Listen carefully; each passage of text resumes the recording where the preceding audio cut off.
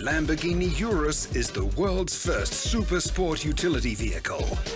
It offers pure Lamborghini DNA, design, power and performance, driving dynamics and emotion.